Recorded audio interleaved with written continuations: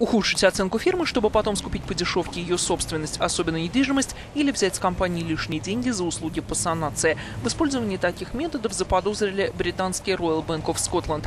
В прессу попал доклад, написанный по заказу министра предпринимательства, где отражены жалобы нескольких сотен бизнесменов на подразделение RBS, которое занимается реструктуризацией переживающих трудности малых и средних предприятий. Сам банк обвинения отрицает, однако правительство, которое владеет 82% акций Royal Bank of Scotland, потребовало провести проверку этих фактов.